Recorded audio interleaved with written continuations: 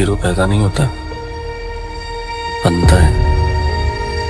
अपने साथों कोई तूफ़ान नहीं लाता। भीड़ में तो वो पहचाना भी नहीं जाता। वो अंधेरे में घबराता नहीं। दीवारों पे आकर रुकता नहीं। झूठ से बनी दुनिया में सच बोलने की क्रांति करता है। काली दुनिया में खुद रोशनी बनकर आता है। सौ बार मर के भी वापस आता है, सिर्फ़ ये बताने कि बुराई चाहे कितनी भी ताकतवर हो। अच्छाई को कोशिश नहीं छोड़नी चाहिए। बस लड़ता है।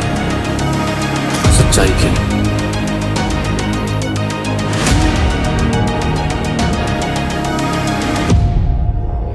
इंसाफ के लिए।